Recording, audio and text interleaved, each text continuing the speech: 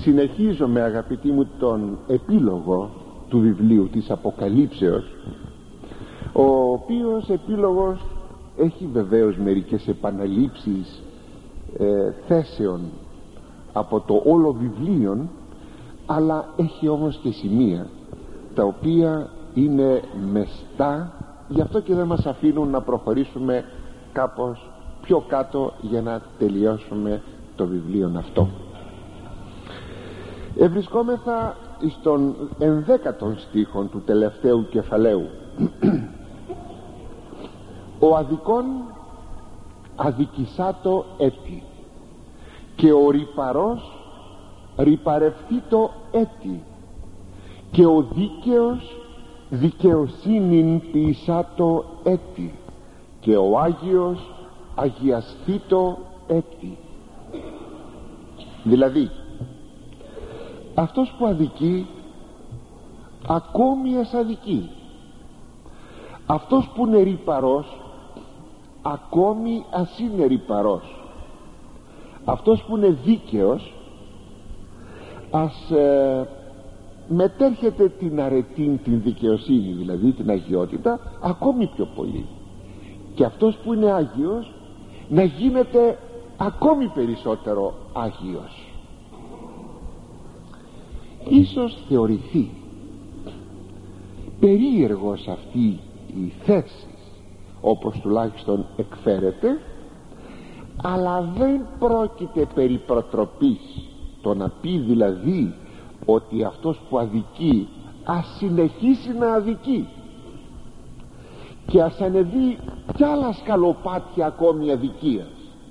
Αναμφισβήτητα δεν είναι θέμα προτροπής ο Άγιος Ανδρέας Κεσαρίας σημειώνει ούχος ούχ ως εις αδικίαν και ρυπαρίαν προτρέπων τα παρατεθέντα ήρικε μη γέννητο δεν τα είπε αυτά ο Χριστός ακριβώς για να προτρέψει να γίνουν οι άνθρωποι οι ρυπαροί περισσότερον ρυπαροί άλλως το της γνώμης φυλάτων ακατανάγκαστον ως ανήπη έκαστος το αρέσκον αυτό ποιησάτο ου βιάζω την προαίρεση αλλά σαν να ήθελε να είπε εφόσον η προαίρεσης είναι χωρίς εξαναγκασμόν ότι ο καθένας ας κάνει αυτό που του αρέσει.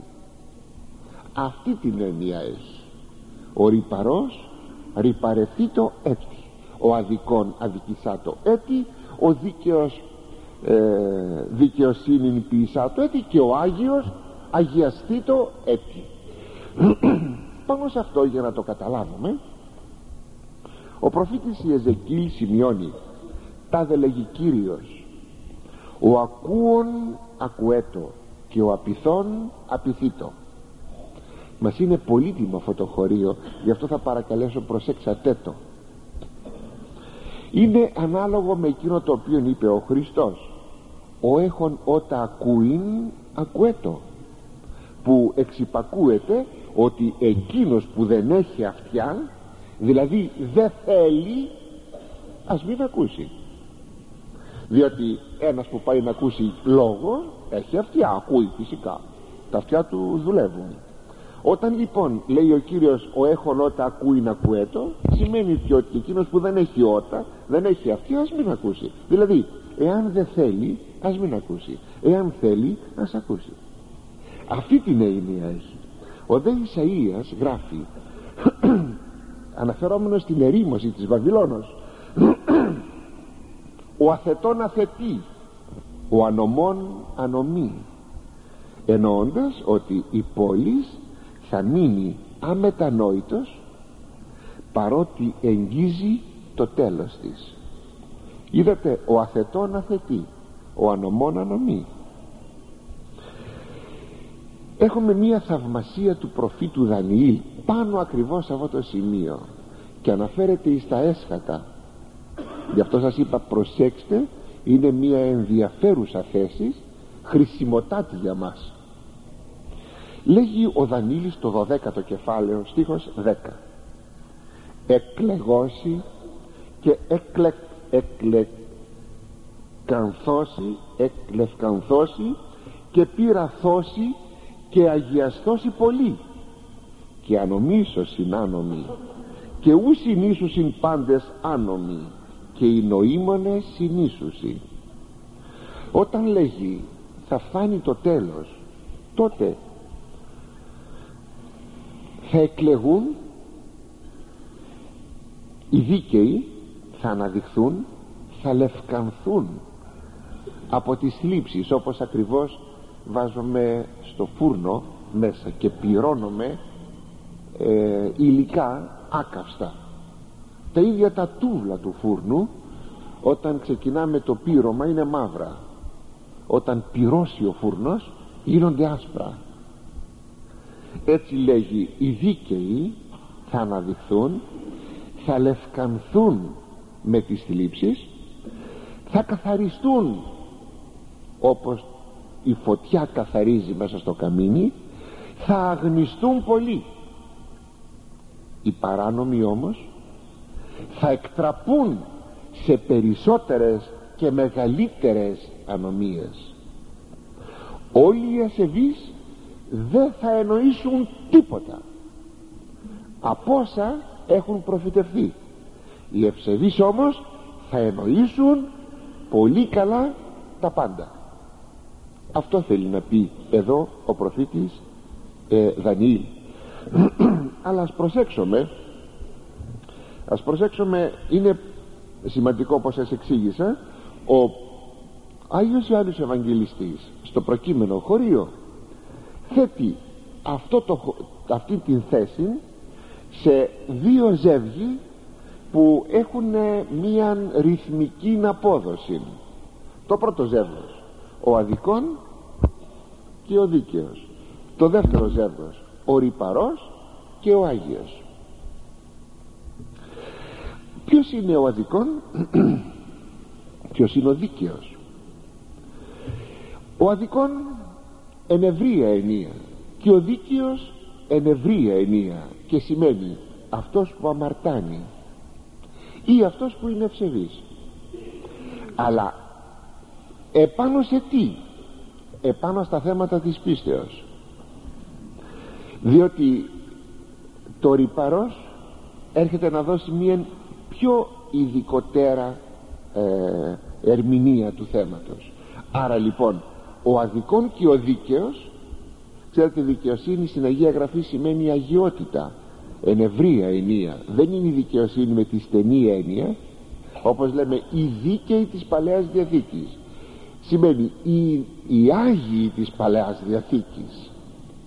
Έτσι με την ευρία αυτή έννοια είναι οι αμαρτάνοντες στο θέμα της πίστεως κυρίως. Ή οι άλλοι οι μη αμαρτάνοντες στο θέμα της ευσεβίας. Είναι δηλαδή ευσεβής.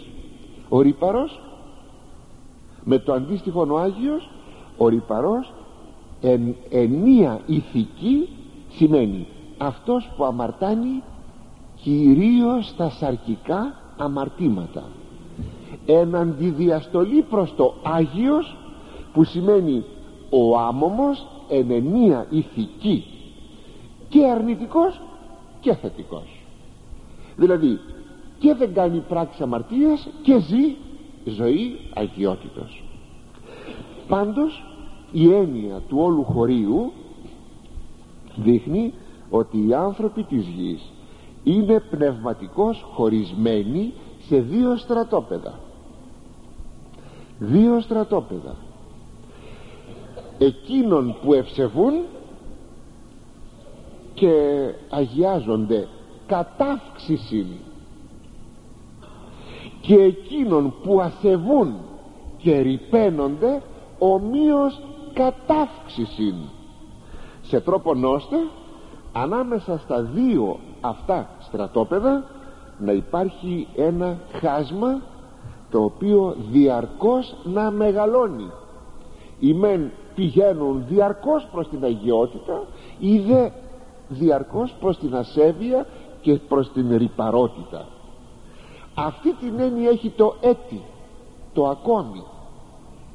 Συνεπώς απομακρυνόμενοι ημέν από τους δε το χάσμα το κάνουν μεγαλύτερο και μεγαλύτερο. Εάν απομονώσουμε από το όλο χωρίο το ο Άγιος αγιαστεί το έτη αγαπητοί μου θα είχαμε πολλά πράγματα να πούμε.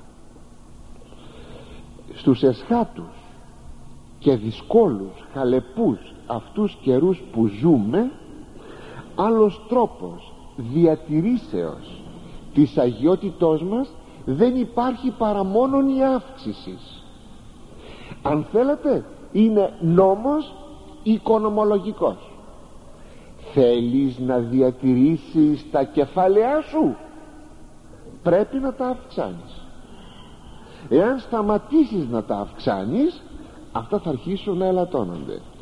Έτσι εάν θέλουμε πραγματικά να αυξηθούμε στην αγιότητα ή μάλλον να διατηρηθούμε στην αγιότητα πρέπει να την αυξάνουμε την αγιότητα.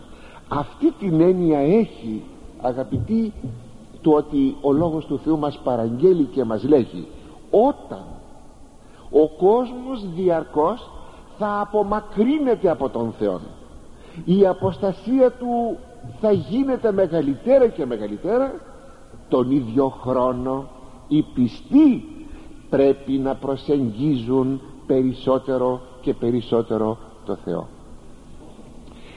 Ξέρετε τι σημαίνει; Ότι δεν πρέπει να υπάρχει καμία σχέση ανάμεσα στα δύο αυτά στρατόπεδα. Δεν πρέπει να υπάρχει καμία σχέση ανάμεσα στον Άγιο και τον Ευσεβή με τον Ασεβή και τον Ρυπαρό δεν θα ανοίξει διάλογο ο ένας με τον άλλον. Κανέναν διάλογο δεν θα πούν ελάτε να κουβεντιάσουμε γιατί αν πούν ελάτε να κουβεντιάσουμε τότε εκείνοι που θα αδικηθούν εκείνοι που θα ζημιώσουν θα είναι οι Άγιοι. Δεν χρειάζεται διάλογος. Θέλουν να διορθωθούν οι άλλοι. Ο δρόμος είναι ανοιχτός. Απλούστατα μπορούν να διορθωθούν. Το έλα να κουβεντιάσουμε όχι με την έννοια να, να σου διασαφίσω ποια είναι η πνευματική ζωή αλλά με την έννοια ότι να αρχίσουμε να βάζουμε λίγο νερό στο κρασί μας. Προσέξτε αγαπητοί μου κατά τεκμήριον είσαστε πνευματικοί άνθρωποι εφόσον πληρείτε των χώρων αυτών και ακούτε λόγο Θεού τον οποίον αγαπάτε. Κατά τεκμήριον λοιπόν είσαστε ευσεβείς άνθρωποι. Εάν θέλουμε να διατηρήσουμε αυτή την ευσεβιά μας μην ερωτοτροπούμε με τον κόσμο μην ερωτοτροπούμε με τους ασεβείς ανθρώπους μην προσπαθούμε να έχουμε προσεγγίσεις γιατί θα χαλάσουμε. Αντιθέτως θα πρέπει να αυξάνουμε εις την αγιότητα και εις την αρετή. Αν μου πείτε μα γιατί έτσι αφήνει ο Θεός να υπάρχει αυτή η συνύπαρξη η όχι τροπική η τοπική συνύπαρξη όχι τροπική. Απλώς στον κόσμο αυτόν συνυπάρχουμε ημέν με τους δε μη μας παραξενεύει.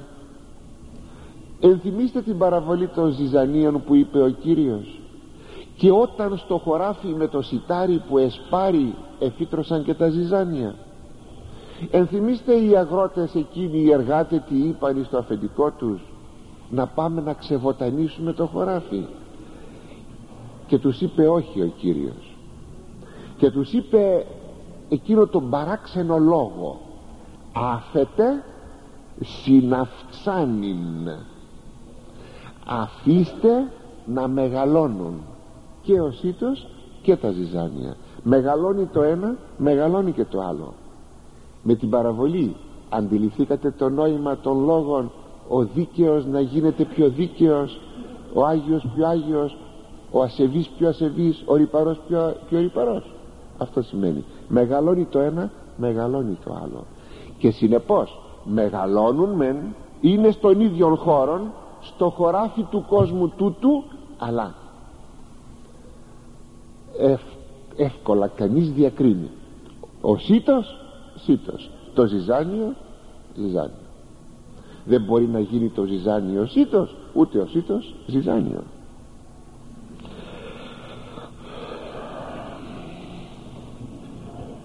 Εκείνο που έχει σημασία είναι ότι το θέμα βρίσκεται κάτω από τη δική μας την προαίρεση. Εμείς πως το θέλουμε το πράγμα; Εάν εμείς θέλουμε να μείνουμε στην αγιότητα θα μείνουμε και πρέπει να αυξηθούμε. Μην πει κανένας εκείνο το δαιμονικό γιατί δαιμονικό είναι. Και δυστυχώς και κηρύσσεται αυτό το δαιμονικό. Πολλές φορές κηρύσσεται και από τον άμβον αυτό το δαιμονικό. Ποιο; Ότι η αγιότητα έχει κάποια όρια. Η πνευματικότητα είναι αυτή που είναι. Έχει ένα σχήμα και το σχήμα αυτό της αγιότητος κλείνει. Είναι κλειστό σχήμα. Αγαπητοί μου η ευσέβεια δεν έχει σχήμα και η ευσέβεια διαρκώς αυξάνει. Μην ακούστε λοιπόν ότι είμαστε φτασμένοι. Όχι. Έχουμε, διαρκή, έχουμε ανάγκη διαρκούς αυξήσεως προσέξτε τι σημειώνει ο προφήτης Δανιήλ. Πάντες άνομοι ου συνήσουσι και οι νοήμονες συνήσουσι τι θα πει αυτό; Οι ασεβείς θα μένουν ανύποπτοι. Σε αυτό το επιτελούμενο μυστήριο της ανομίας που θα του εργάζεται ο Αντίχριστος. Ανύποπτοι. Εάν πάμε να τους το πούμε να τους βγάλουμε από την υποψία την ανυποψία και να τους κάνουμε να υποψιαστούν οι πιο πολλοί δεν θα μας καταλάβουν. Ου συνήσουσι λέει οι άνομοι δεν θα καταλάβουν. Αλλά οι νοήμονες οι ευσεβείς συνήσουσι οι ευσεβείς θα κατανοούν την πραγματικότητα των καιρών και θα προσέχουν. Εδώ βρίσκεται αγαπητοί μου η εν Χριστώ σοφία λέμε ποιος είναι έξυπνος άνθρωπος; Ποιος είναι έξυπνος; Βέβαια την ευφυΐα μπορούμε να την έχουμε εκλεκτικά. Μπορεί κάποιος να είναι πολύ έξυπνος άνθρωπος στο εμπόριό του αλλά να μην είναι έξυπνος στις κοινωνικές του σχέσεις ή στην πνευματικότητά του. Βεβαίως αυτή η εκλεκτικότητα βέβαια δεν είναι καλό πράγμα. Πρέπει κανείς να είναι άμα είναι έξυπνος είναι έξυπνος το μυαλό του κόβει. Αλλά θα κρίνουμε όμως από την ποιότητα των ενδιαφερόντων του ανθρώπου για να δούμε τι είναι αληθινή ευφυΐα εάν υποτεθεί ότι είμαι έξυπνος στο εμποριό μου και βγάλω λεφτά πολλά και δεν ξοδεύω τίποτα και μαζεύω διαρκώς μήπως φτάσω σαν τον άφρονα εκείνο πλούσιο που θα φτάσει να, να μου πει ο Θεός άφρον ταύτη τη νυχτή την ψυχή σου ε, ζητάνε από σένα. Αυτά που ετοίμασες σαν δεν ετοίμασες τι νιέστε ποιανό θα μείνουν ξέρετε πως οι άνθρωποι αγαπητοί μου αγωνίζονται σκοτώνονται να βγάλουν χρήματα και κάποτε ανακαλύπτουν ότι έχει περάσει η ζωή τους. Δεν είναι κρίμα. Δεν τη χάρηκαν τη ζωή τους την πέρασαν στερημένοι για να βγάλουν λεφτά για να έχουν για το μέλλον. Ποιο μέλλον; Και αν ακόμη δεν πεθάνουν έχουν γεράσει όμως. Τώρα θα δώσουν στα παιδιά τους.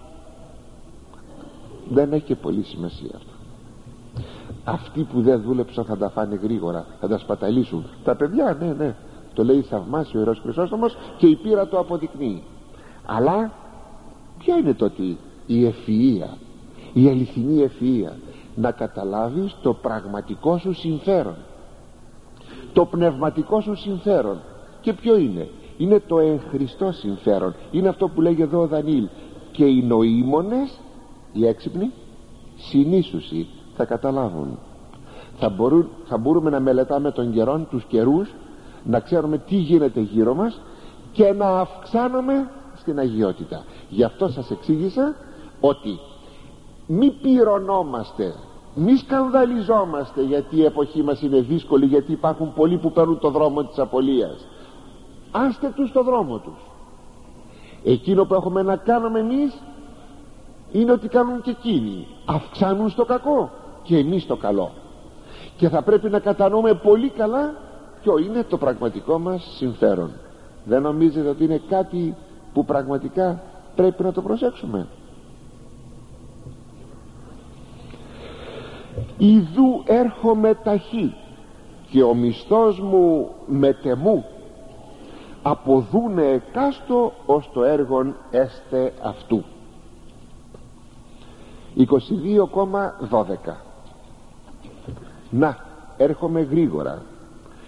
Και ο μισθός μου είναι μαζί μου. Για να αποδώσω στον καθένα σύμφωνα με το έργο του εδώ προφανώς ομιλεί ο ίδιος ο Κύριος Ιησούς Χριστός και θέλει να δηλώσει για μια ακόμη φορά την εγκύτητα της ελεύσεώς του αλλά και την ιδιότητά του ως δικαίου κριτού και μισθαποδότου.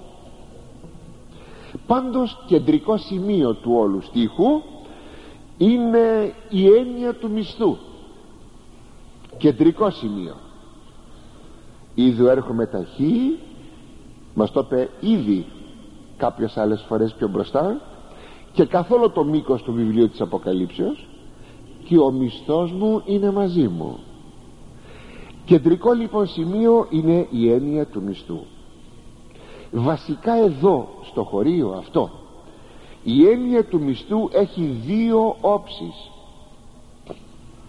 Η πρώτη προσέξτε αυτό το σημείο ότι ο Χριστός έχει το δικό του μισθό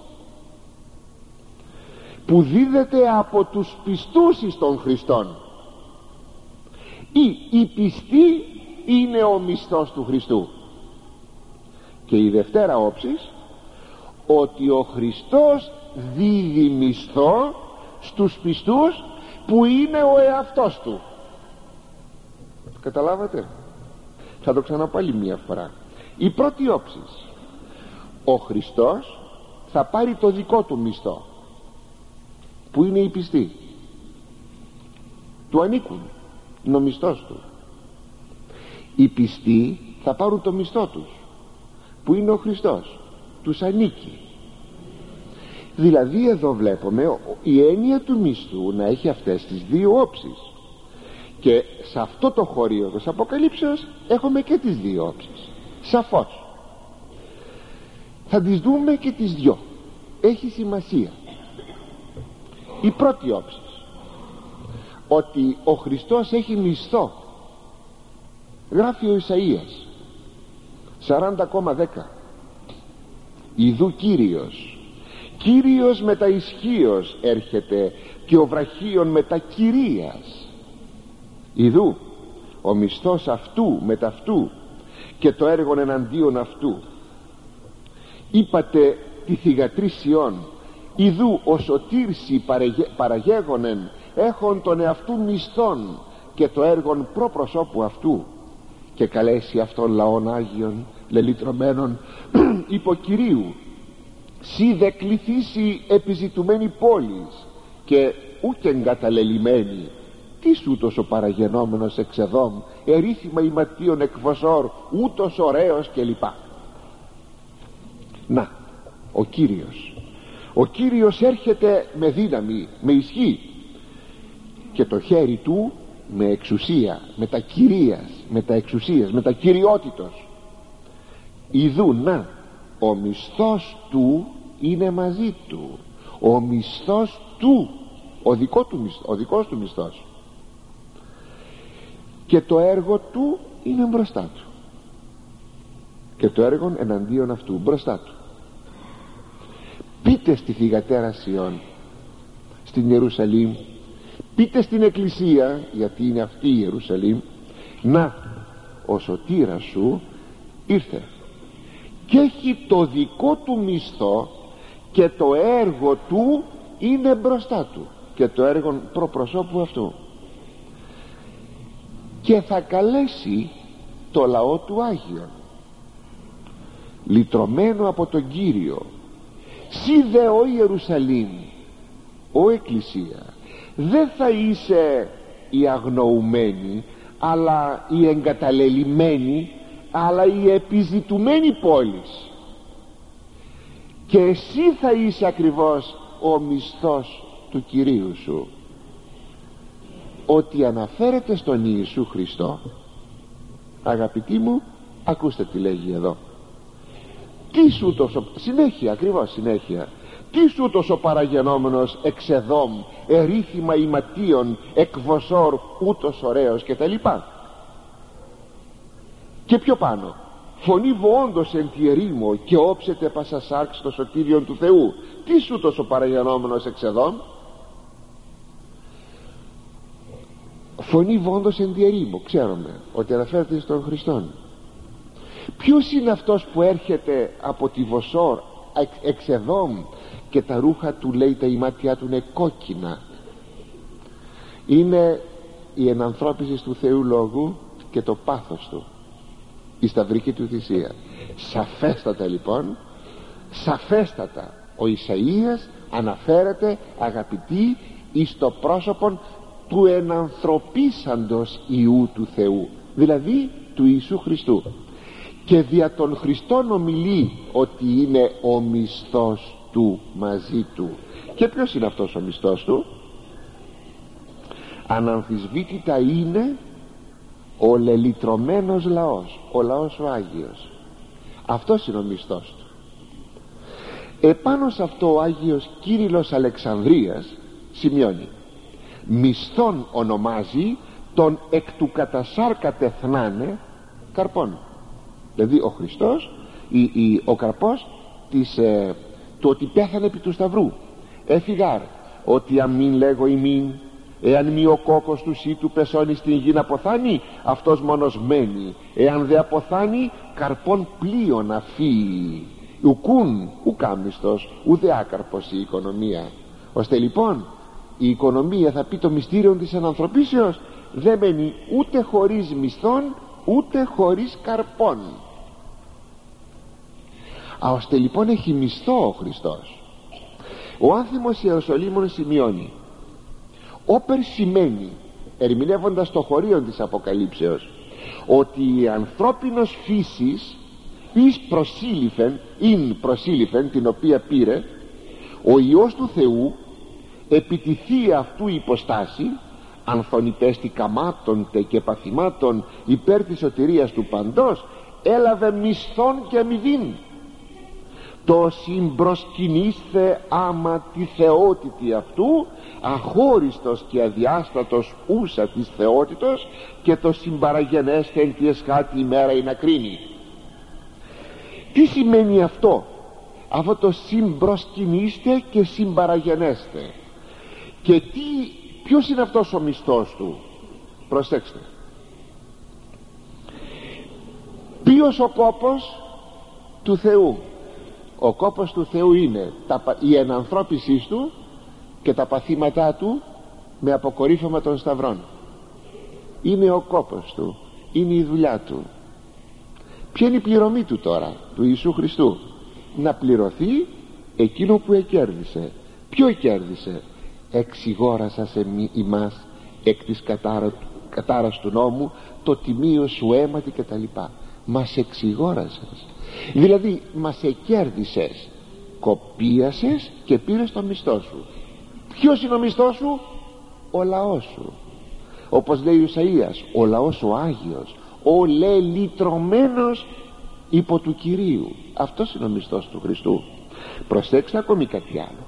Λέει ότι εδώ όχι μόνο ένεκα της υποστατικής του ενώσεως προσκυνείται διότι η ανθρωπίνη φύση του Χριστού προσκυνείται ένεκα της υποστατικής του ενώσεως γιατί είναι ένα πρόσωπο δύο οι φύσεις η Θεία και η ανθρωπίνη.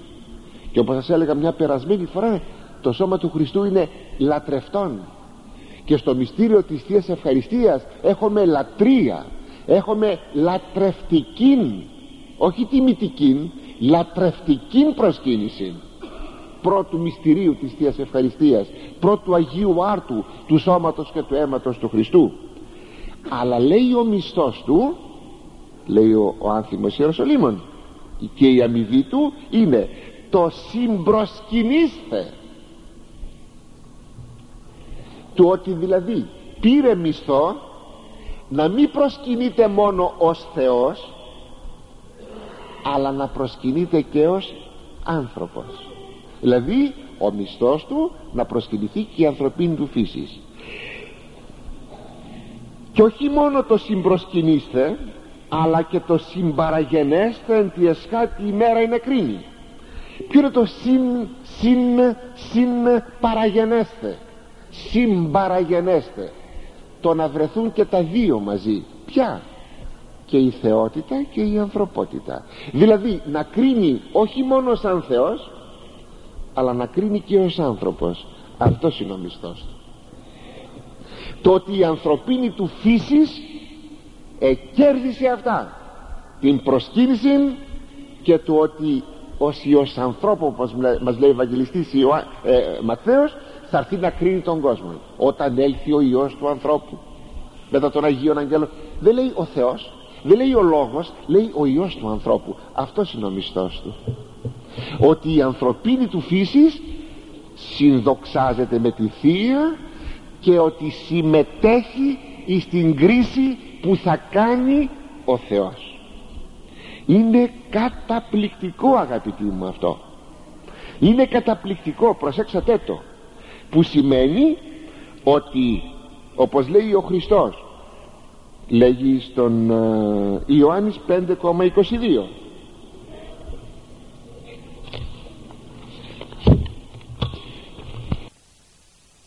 κοπιακός εκ της οδηπορίας και σταυρώθηκε. Έχει λοιπόν το μισθό του. Και ο μισθός του είναι αυτά συν το ότι κερδίζει το λαό του.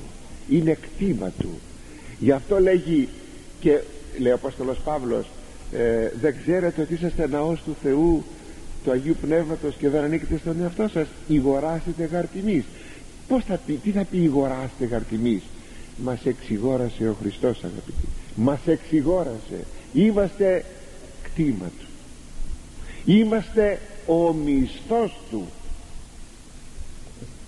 Όλα αυτά που σας είπα το λέει, τα λέγει ο Απόστολος Παύλος στην προς Εβραίους επιστολή 1,9 είναι ο αιώνιος μισθός του Χριστού που ακούσατε του προς δε τον Υιόν λέγει ο Πατήρ ο θρόνος σου ο Θεός δηλαδή εις τον αιώνα του αιώνος ο Θεός είναι, γενι... είναι εκλητική ο θρόνος σου ο Θεέ εις τον αιώνα του αιώνος.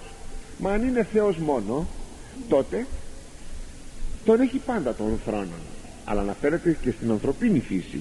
Ράβδος ευθύτητος η ράβδος της βασιλείας σου. Η γάπη σας δικαιοσύνη με την ανθρωπίνη φύση εννοείται. Η γάπησε στην αγιότητα με την ανθρωπίνη φύση αυτό θα πει δικαιοσύνη. Και εμείς σας ανομίαν με την ανθρωπίνη φύση όχι ως Θεός. Δια τούτο για αυτό το λόγο έχρισέσαι ο Θεός ο Θεός σου έλεον αγαλιάσεως παρά τους μετόχους σου. Γι' αυτό το λόγο ο Θεέ ο Θεός σου σε έχρισε Χριστός χρύο Χριστός σε έχρισε με το λάδι της αγαλιάσεως.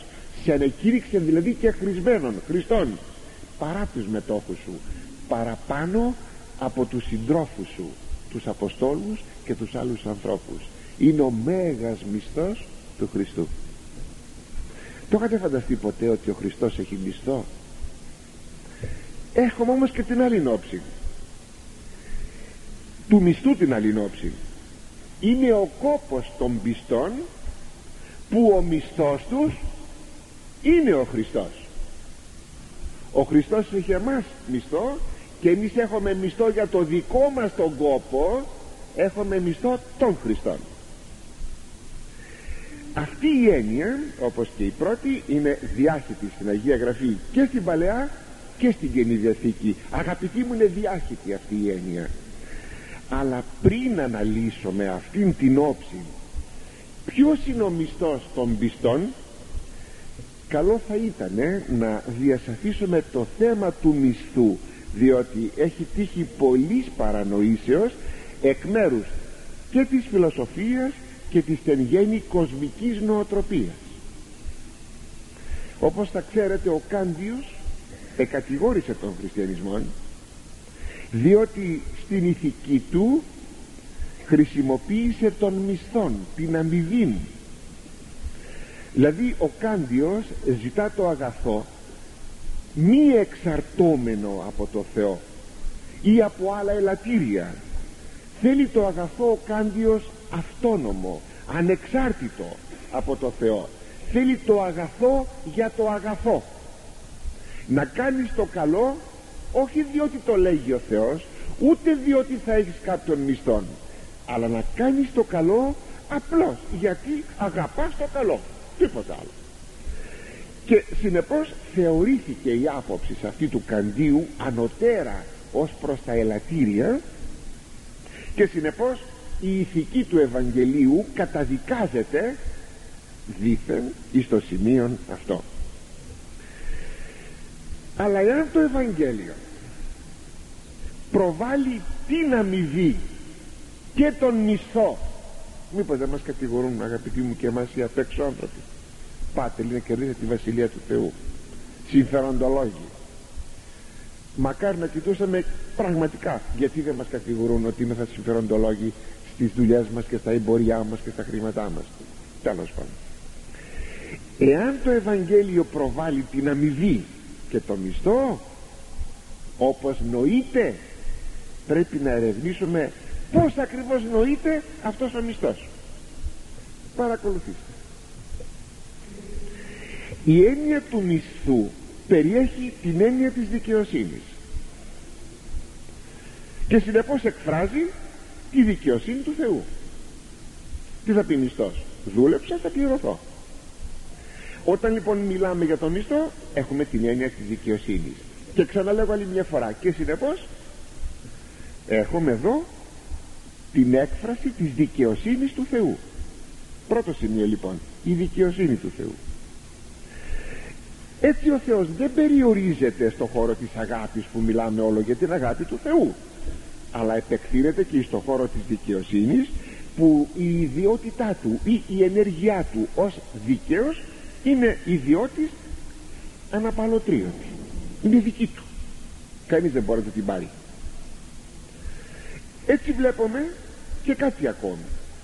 Ότι η έννοια της δικαιοσύνης συνδέεται άρρηκτα με την έννοια της ελευθερίας. Δουλεύω ελευθέρος και πληρώνομαι ελευθέρος διότι εάν δεν είμαι ελεύθερος θα δουλέψω αλλά δεν θα πληρωθώ. Όπως είναι οι δούλοι της αρχαιότητας. Οι δούλοι δεν πληρώνονται δούλευαν αλλά δεν πληρώνονταν. Συνεπώς έχουμε τώρα την έννοια της δικαιο... του μισθού. Ο μισθός έχει την έννοια της δικαιοσύνης και την έννοια της ελευθερίας. Ο Θεός αφήνει ελεύθερο τον άνθρωπο να ενεργήσει θετικά ή αρνητικά απέναντι στο Ευαγγέλιο ό,τι θέλεις κάνει αλλά ο Θεός δεν θέλει αλλά και ούτε συμφέρει στον άνθρωπο να σταθεί αρνητικά απέναντι στο Ευαγγέλιο. Δεν συμφέρει στον άνθρωπο. Μπορεί. Προσέξτε μπορεί δεν συμφέρει. Ο Θεός δίνει τη δυνατότητα να μπορέσει ο άνθρωπος. Δεν το θέλει όμως. Γι' αυτό λέει ο Απόστολος Παύλος θα λέγαμε κλασική διατύπωση. Α Κορινθίους 6,12 πάντα μη έξεστη αλλού πάντα συμφέρει. Όλα μου επιτρέπονται αλλά όλα δεν με συμφέρουν. Πάντα μη έξεστη αλλού και εγώ εξουσιαστήσω με υπότινος. Όλα μου επιτρέπονται αλλά εγώ δεν θα γίνω δούλος από τίποτε. Δεν θα εξουσιαστώ από τίποτε. Αυτή είναι η έννοια της Ευαγγελικής Ελευθερίας όχι η αισθησία που την έχουμε έξω. Αυτή είναι η έννοια. Ως δυνατότητα και αγαθού και κακού αλλά και εκλογή μόνο του αγαθού. Διότι αυτό θέλει ο Θεός και αυτό εμένα με συμφέρει. Με αυτή λοιπόν την έννοια υπησέρχεται η δικαιοσύνη του Θεού με την έννοια ότι θα επενέσει το αγαθό και θα το επιβραβεύσει αλλά και θα καταδικάσει το κακό και θα το τιμωρήσει. Με αυτή την έννοια λοιπόν συνδέεται η δικαιοσύνη και η ελευθερία. Ο μισθός είναι μία αντίδοση δίνεις και παίρνεις. Και συνεπώς είναι η έννοια της δικαιοσύνης όπως σας είπα. Ο μισθός του Χριστού για τον κόπο των παθημάτων του είναι ο πιστός χριστιανός και ο μισθός του πιστού χριστιανού για τον κόπο του αγώνος του είναι ο Χριστός. Έτσι μπαίνει ένα καινούριο στοιχείο το στοιχείο της αγάπης. Έχουμε συνεπώς τρεις έννοιες για το μισθό που συμπληρώνουν την έννοια του μισθού. Τη δικαιοσύνη την ελευθερία και την αγάπη όταν εισέλθει η αγάπη εξαφανίζεται το ελαττήριο της φιλαυτίας δεν υπάρχει φιλαυτία αυτά τα γράφει ωραιότατα ο Ιερός Χρυσόστομος ως εξής. Είναι προς Ρωμαίους στην ομιλία, την πέμπτη ομιλία του προς Ρωμαίους λέει μίζον ο μισθός εάν μη επελπίδη μισθόν ποιείς ο μεγαλύτερος σου μισθός είναι όταν ε, δεν ελπίζεις για μισθό. Ακούστε ο μεγαλύτερος σου μισθός είναι όταν δεν ελπίζεις για μισθό. Φιλήσομεν αυτόν ως φιλήν χρή. Ας αγαπήσουμε τον Χριστόν όπως πρέπει να τον αγαπούμε. Τούτο γάρο μέγας μισθός γιατί αυτός είναι ο μισθός μας να αγαπήσουμε τον Χριστό μπαίνει λοιπόν η έννοια της δικαιοσύνης η έννοια της ελευθερίας δεν νοεί τη δικαιοσύνη χωρίς ελευθερία μπαίνει και η έννοια της αγάπης. Έτσι ο χριστιανός όπως λέγει ο Κλήμης ο Αλεξανδρεύς του στρωματής του 7,12 λέγει μισθών ο χριστιανός δίδει μισθών γνώσεως το σωτήρι και διδασκάλο την αποχή των κακών και την ενέργεια της ευθείας τι μισθό δίνω εγώ στο Χριστό. Με το να απέχω από το κακό και να κάνω το καλό. Αυτό το μισθό του δίνω του Χριστού. Και ο Χριστός τι δίνει σε μένα; Τον εαυτό του. Τη βασιλεία του. Αλλά η βασιλεία του δεν είναι χωρισμένη από τον Χριστό. Όπου ο Χριστός και η βασιλεία του. Άρα λοιπόν μου δίνει τον εαυτό του δηλαδή τη βασιλεία του. Ο Άγιος Ισίδωρος ο Πιλουσιώτης χωρίς να αυτονομήσει το αγαθόν σημειώνει σε μια του επιστολή. Ή όντως φιλάρετος είδησαν ότι και χωρίς αμοιβής αυτή η αρετή μισθός ευθύνη εάν αγαπάς την αρετή και μόνο αυτή την αρετή που έχεις είναι η αμοιβή σου. Χωρίς να μένεις στην αυτονομία με αυτή την έννοια αγαπητοί μου τίθεται ο μισθός από το Ευαγγέλιο σαν θέμα δικαιοσύνης αγάπης και ελευθερίας. Μάλιστα και τα τρία αυτά χαρακτηριστικά εκφράζονται θαυμαστά στην παραβολή των μισθωτών εργατών. Το πρωί κάποιο αφεντικό βρίσκει κάποιους εργάτες. Δεν σας μίσθωσε κανείς; Όχι πόσο θέλετε να δουλέψετε στο αμπέλι μου; Ένα δινάριο. Πηγαίνετε στο χωράφι.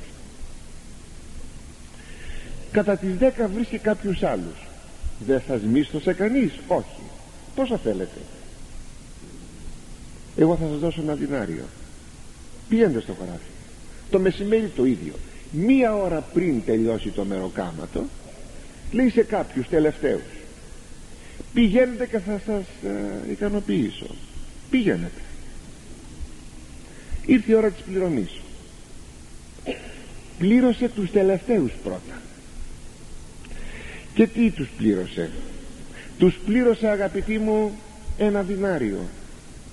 Οι πρώτοι είπαν εμείς δουλέψαμε όλη την ημέρα ε, θα πρέπει λοιπόν και εμάς να μας δώσει τώρα παραπάνω. Αφού δίνεις αυτούς που ήρθαν πριν μια ώρα τους δίνει ένα δινάριο θα μας δώσει μας παραπάνω. Δίνει και σε αυτούς ένα δινάριο. Στραβό μου τσούνιασαν. Και λέει εκεί ετέρε λέει εκεί ο Κύριος στην παραβολή ουκ αδικώσε φίλε δεν σε αδικό. Ουχή διναρίου συνεφωνήσας μη. Δεν συμφωνήσαμε με ένα δινάριο. Άρα τον σορ και πει και είπαγε πάρε το δινάριό σου και πήγαινε στο καλό. Τόσο δεν συμφωνήσαμε.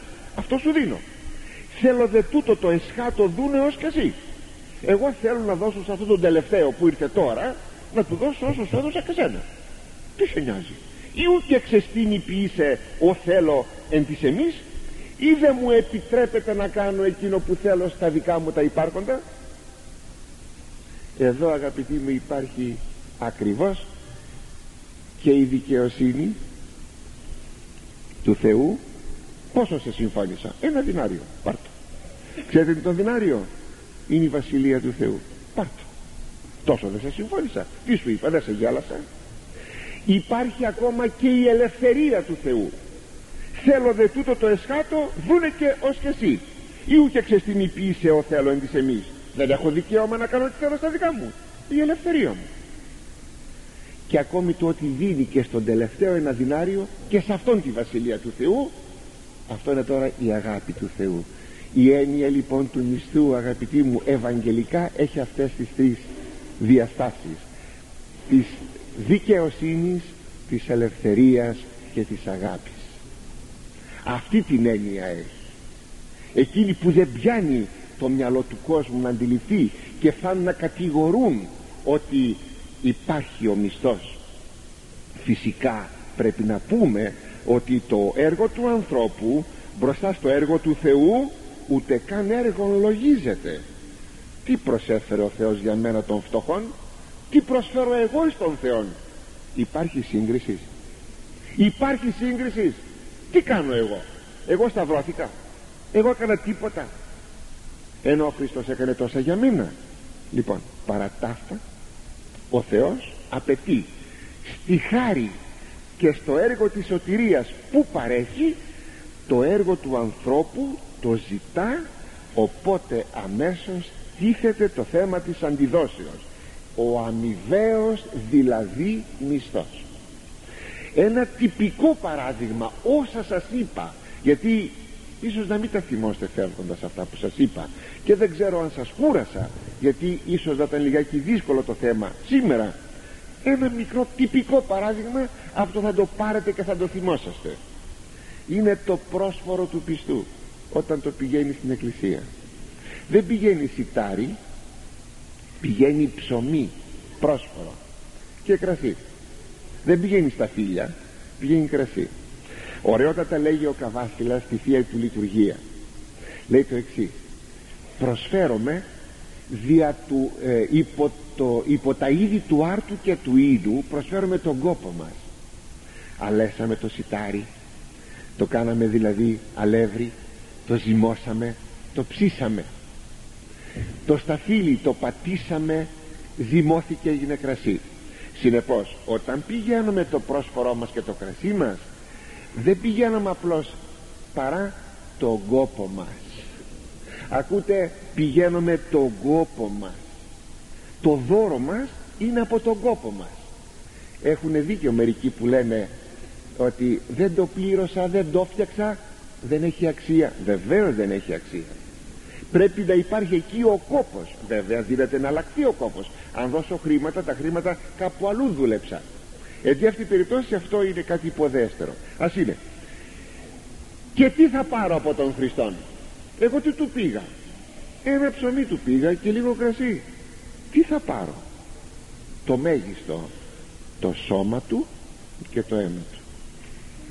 Αυτή είναι, αυτός είναι ο μισθός αγαπητοί μου ο αμοιβαίος μισθός. Προσέξατε το ο αμοιβαίος μισθός.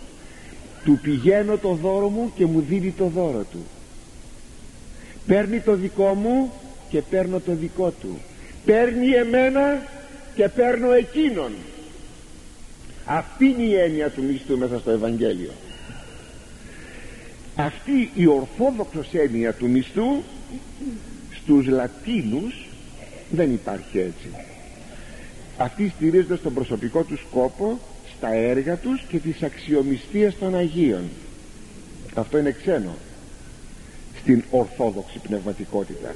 Οι προτεστάντες ακόμη μένουν μόνο στη χάρη του Θεού και όχι στον προσωπικό κόπο. Τον προσωπικό κόπο τον εξαφανίζουν. Γι' αυτό και δεν τους αρέσει και η επιστολή του Αγίου Ιακώβου του Αδελφοθέου. Δεν τους αρέσει. Που μιλάει για κόπο, για εργασία για αγώνα, για αρετή. Με αυτή λοιπόν την έννοια πλέον ο μισθός είναι διάχυτος αγαπητοί μου μέσα στην Αγία Γραφή.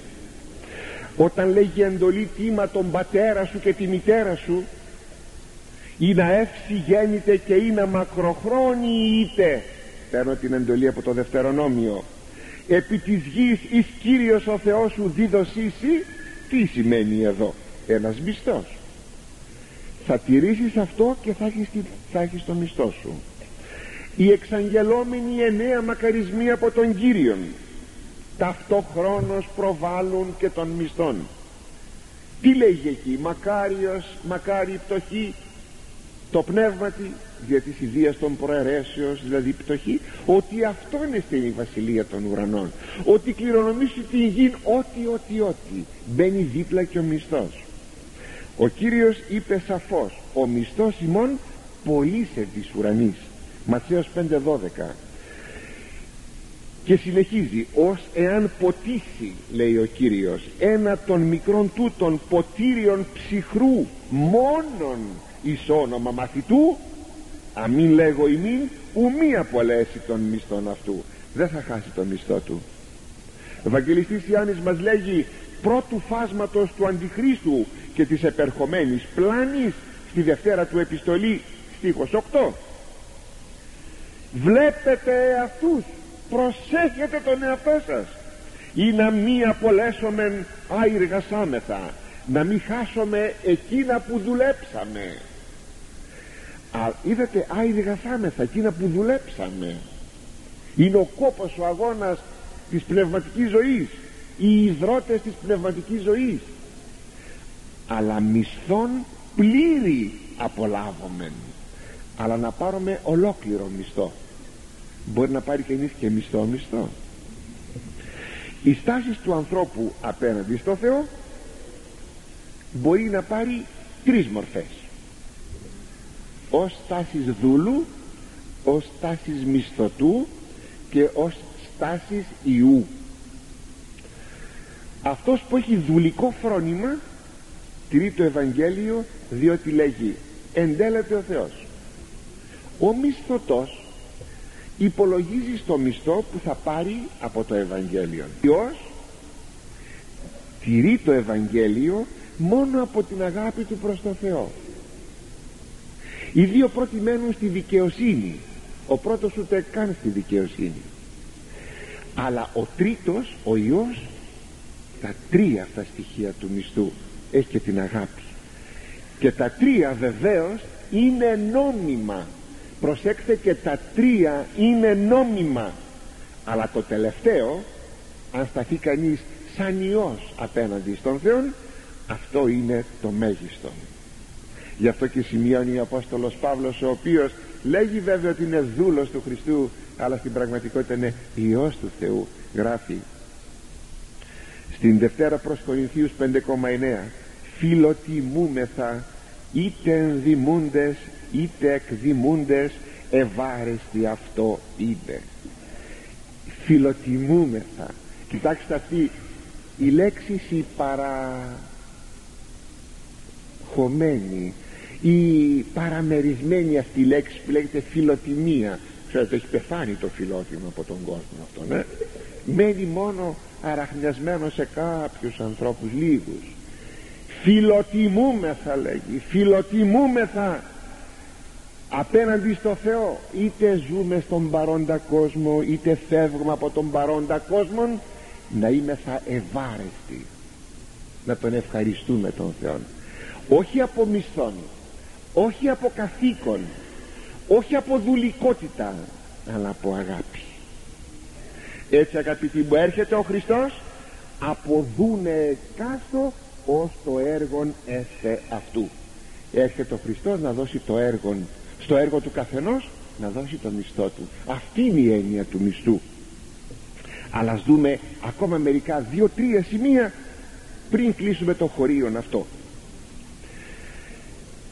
όταν έρχεται ο Χριστός αποδούνε εκάστο ως το έργον έστε τούτου αυτού είναι η ώρα των μεγάλων λογαριασμών. Οι μεγάλοι λογαριασμοί. Ας θυμηθούμε την παραβολή των ταλάντων. Όταν ζήτησε λόγον πέστε μου τι κάνατε εσείς πήρατε τάλαντα και ξέρετε τάλαντο δεν είναι μόνο τα χαρίσματα τάλαντα είναι, τάλαντο είναι και η ψυχή μας. Είναι αυτό το κατοικώνα που πήραμε τάλαντο πολύτιμο και καλούμεθα να το αυξήσουμε να το περάσουμε από το κατοικώνα στο καθομοίωση έτσι ας τη θυμηθούμε αυτή. Η απόδοση του μισθού πρέπει να πούμε ότι είναι απολύτως προσωπική. Δεν υπάρχουν αξιομιστίες εδώ μη μεταβιβαζομένοι σε άλλους ανθρώπους. Δεν μπορώ να πω ότι εγώ έγινα πολύ Άγιος και θα σου δώσω λίγη αγιότητα. Δεν μεταβιβάζεται η αγιότητα. Και συνεπώς και ο μισθός είναι απόλυτα προσωπικός. Γι' αυτό λέει εδώ αποδούνε εκάστο εκάστο στον καθέναν ως το έργο έστε αυτού όπως θα είναι το έργο του εκείνο το ως το έργο έστε αυτού δείχνει ακόμα και την ποιότητα του έργου. Εάν έχθισες με χρυσόν με άργυρον, με πολιτήμους λίθους με καλάμι ή χόρτον όπως λέγει ο Απόστολος Παύλος. Ποια παρακαλώ είναι η ποιότητα του έργου σου; Δείχνει ακόμη και τον όγκον του έργου. Εάν απέφερες έργων εκατονταπλάσιων ή εξικονταπλάσιων ή τριακονταπλάσιων. Και λέει έργων σε ενική εκφορά για να δηλώσει το ενιαίο της πνευματικότητος. Δεν μπορείς να κάνεις έργο σε μια αρετή εδώ και κάπου αλλού να χωλένεις και να μαρτάνεις. Δεν μπορείς να είσαι πόρνος και ελεήμων. Μερικοί νομίζουν ότι μπορεί να είναι στην πορνεία αρκεί να κάνουμε ελεημοσύνες όχι. Ένα είναι το έργο ένα και ο, ένας και ο μισθός. Λέει ο Κύριος ότι ο μισθός μου μετεμού είναι. Είναι μαζί μου που δείχνει ότι ο αληθής και ο αιώνιος και ανέκλειπτος μισθαποδότης είναι μόνος ο Χριστός. Κανένας άλλος. Και τέλος όταν ο Ιερός Ευαγγελιστής χρησιμοποιεί το ρήμα αποδούνε αποδούνε να αποδώσω δείχνει αυτόν τον αμοιβαίων μισθών αυτόν που δίδει ο πιστός στο Χριστό για το έργο του και αυτόν που δίνει ο Χριστός εις τον πιστό για τον αγώνα του και για το έργο του